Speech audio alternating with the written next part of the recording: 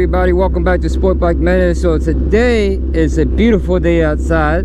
We're in the 70s i mean i'm able to wear shorts short sleeve and still be hot. So thank god.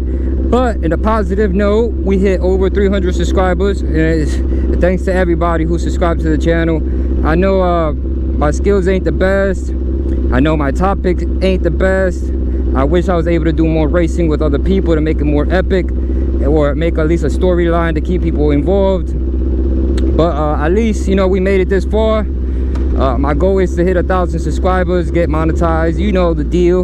Um, the good news too is the bike is going to get dyno tuned it's going to get dyno tuned so it's going to get dyno tuned and it's going to get race fuel dyno tuned too. And then uh I got I think I got my quick shifter working. I was talking to uh Dynojet for a bit. So talking to Dynojet for a bit and uh they helped me out with the settings.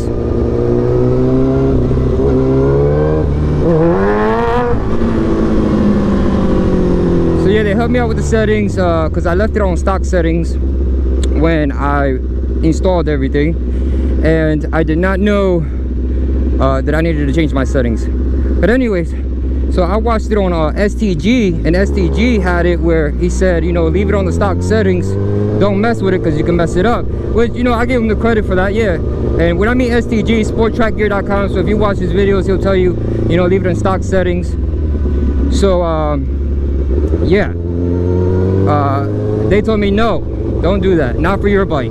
Every bike is going to be different so if you get a quick shifter through power commander and you get all the stuff that you need you're gonna need uh, to talk to them and see what settings you're gonna need for your bike. Um, so right now we got the quick shifter working. The thing is so it was working it, it was just working like in the 8,000 rpm 7,000 6,000 so I'll show it right now it's gonna work. So it works. It's just not working um, with um, going any higher in the RPM. So when I go to 10,000 RPMs, it did not want to shift at all. So we got all that figured out. Uh, hopefully, because if not, then uh, um, either way, the bike is going to go uh, dyno tuning, and he said he can uh, make adjustments to it. Don't get me wrong, it ain't free, but as long as it works, because I needed it to work so I can go racing, uh, I raced against two Hayabusas. I beat them.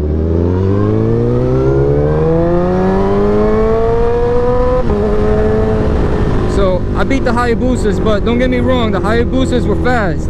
The thing, the problem with the Hayabusas, is there's so much torque that they're stuck doing a burnout in second gear, and I'm just, I'm out. And if I do do a little tiny burnout, it still doesn't compare to what they got. So there's a difference between us both. So yeah. Um so yeah don't get me wrong Hayabusas are still fast. Is if, if they had better tires or a better setup they could have beat me. Oh man this is gonna be traffic but it's all right because I'm, I'm not planning to really act up. I just want to motor vlog um but yeah I, I, beat the two Hayabusas, but don't get me wrong i'm not gonna i'm not gonna crap on them because again uh it, it's it's they're, they're not they weren't able to grip so it was cheap tires or whatever tires they got it was not good tires. Uh and i won't talk bad about their bikes or them as a rider because again sometimes the setups for the bikes are just not good. It's just that simple. You you didn't set it up for for what it needed to be uh, and, and, a lot of times is we go cheap on parts and the, when we go cheap on parts and that's that's the primary example. You it, it, you get problems. So he's gonna get more of an expensive tire uh, a softer compound and uh, that day was pretty chilly out so i also say both of our tires were cold but i have the pirelli uh, diablo rosso 3s they're the more expensive ones compared to what he had. Now he if he really wanted to he can go for the super corsas now those are really racing tires but those need those require to be warmed up even more compared to the tires that I'm running. I don't know why how the compound works but that's what they all say that you want tire warmers for the Super Corsas I have tire warmers so I can cheat.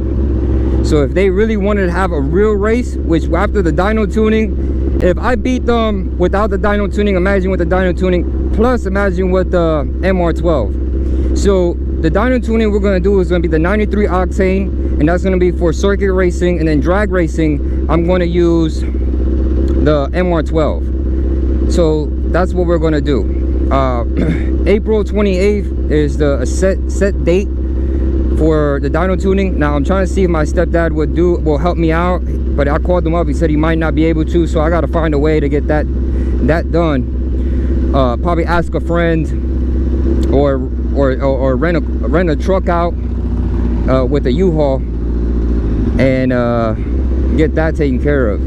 Because to me, that that's my dream.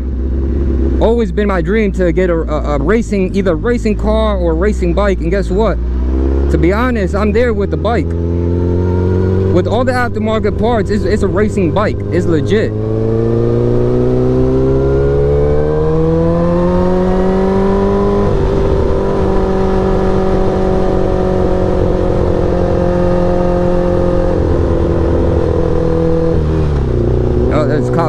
Be. I'm not even gonna. I'm not even gonna uh, go fast because there's cops everywhere.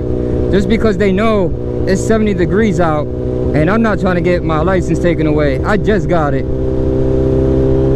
So I'm gonna I'm gonna chill out. I'm gonna chill out and relax and just enjoy the day. But yeah, um, so it's gonna get dyno tuning for the 93 octane that's gonna be for circuit racing and then we're gonna do also um, the MR12 is for drag racing. And I have the map switch that I can switch between both maps. Now the guy who's gonna do my dyno tuning is super cool. And I think it's Ken's Performance. And uh, when he gets the when we do the dyno tuning and I do the because I'm gonna he's, he's gonna let me uh, record it.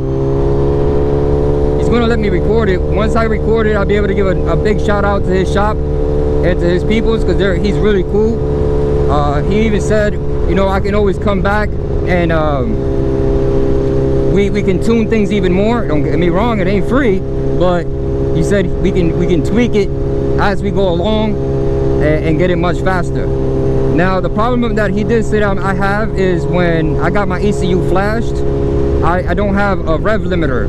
We took it out. So I can go into the 14,000 uh, 14,000 to 15,000 RPMs, which is that's red line. He said you don't want to do that, not with this bike, because the valves, the valve springs, uh, will will jitter loose and fall into the pistons, and then your motor is, is done for. That's it. No more motor. You have to get a new motor.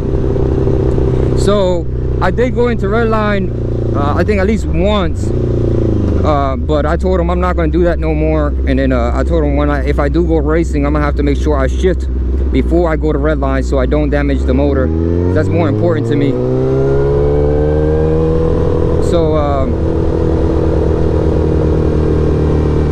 yeah. Now, what he said, we can also, I can always also send it, like, well, he can also put those parameters back so it stops me from going into red line. He says, uh, I don't get no extra horsepower and torque out of the red line. He says it, it stops. He says it's just the the red line is just if you missed your shift it gives you that little bit of room. But he says you don't want to go into red line. He says other bikes maybe but not the not the the 07 and the 08 you don't want to do that. But yeah this bike is coming along. Um, there's multiple people i could race i did like did a kind of small race against a Kawasaki it was an 06 kawasaki zx10 uh, which is a 1000 but um, I don't want to consider it a race because me and him were not giving it our all. And I told him I didn't give him my all because he's not a Hayabusa. I was like I put there's a lot of aftermarkets into my bike and I think it's not fair to really go hard on my bike if I know that you know I, am gonna I'm gonna I'm gonna I'm gonna beat him because there's more aftermarket parts in this bike a lot and there's a lot of money invested into this bike and it has nothing to do with oh it's an it's a Kawasaki it's a uh, his skills. No, it's just I got a lot of aftermarket parts in this bike. So, and I want to make a list of how much parts that are aftermarket on this bike. Plus, not just the the parts, but the cost and what you can do with your bike. Now, if guys, if you guys want to know about you know the pricing and what I did to my bike, I mean, I'm gonna do it regardless. But you guys, you know, put it in the comments below. Like, yeah, that's that's for sure. Uh, I do have a lot of uh, videos that I can make. Uh, a lot of people gave me gave me suggestions and about you know uh, helmet brands what helmet brands i can't tell them like which model to get but i can tell you like what brands are good uh, and then basically just stay away from ebay and amazon helmets. Uh, but anyways thank you all. You guys helped me out to get to i'm i think i'm around almost 350 subscribers. I'm just gonna round it off to that. But i'm a little bit under that.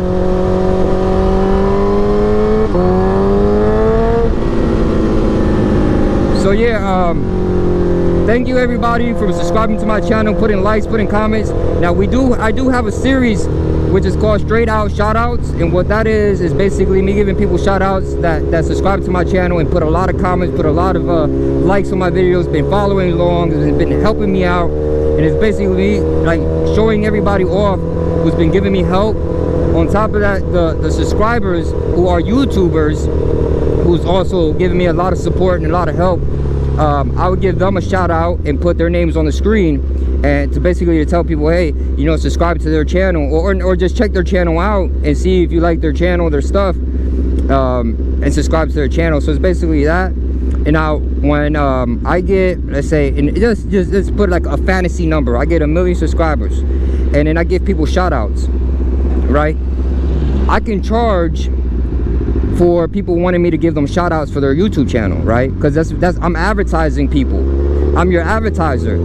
So when I give you a shout out in, in my video, I can charge $10 for that video.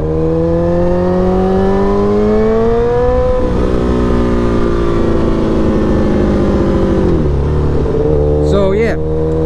Anyways, guys, it's beautiful outside. I'm gonna make one more video, which is the review for the, the eBay brakes and rotors uh, and doing a review of it if you guys should buy it or should you not buy it or if you do buy it what to expect out of it. So if you guys want to watch that video it's going to be loaded up after this one.